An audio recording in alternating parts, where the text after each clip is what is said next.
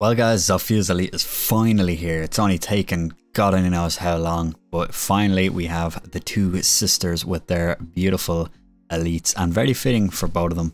Um, I love how Zofia's just represents her as, you know, a leader, shows a professionalism as opposed to like the contrast of uh, Ela and her kind of like rebel kind of style vibe. So definitely for both of them uh, coming together now, they definitely suit with their elites. I actually really love the look of Zofia's elite. It just it just suits her so well. Just gives that militaristic kind of leadership professional outlook that she, you know, gives off with kind of her bio and how her voice lines are portrayed through the games and whatnot. I also love how she changes her pose based off whatever gun you're having, whether you have the M762 or the LMGE. So we see the skin here now on the M762. Damn does it look good. I mean, it looks pretty similar, you know, with the golden textures of kind of some of the recent skins we've been getting with the uh, with the release of the Grand Larceny event and whatnot. So um and with the year five kind of skin with the white and gold. So yeah, it's it's kind of similar in a way, but at the same time it just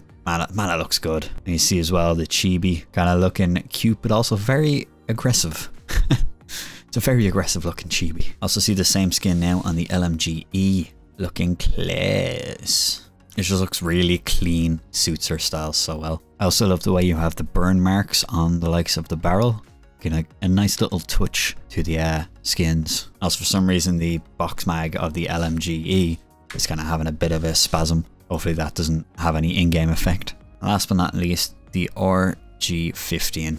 Unfortunately, because I've already bought it, you will not be able to see it on the lifeline, but I will have a few clips at the end of the video and you'll see it in there. So you can see her there in full glory, head to toe, looking suave. And get a close up of the beret again, just looking good. I love, I love berets myself. I think they look amazing on the operators, the likes of Alibi and whatnot. Um, so I'm so happy that her elite has a beret. Last but not least, her elite animation. And with that, I'm going to leave you guys with a few gameplay clips. Nothing too mad, just jumped into a game and decided to get some in-game gameplay to show off. So without further ado, enjoy and I'll see you in the next video.